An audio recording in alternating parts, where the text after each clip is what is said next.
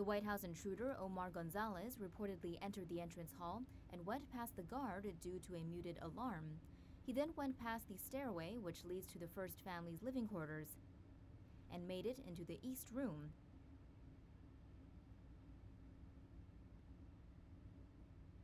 Gonzalez reached the doorway leading to the Green Room, where he was tackled by an agent.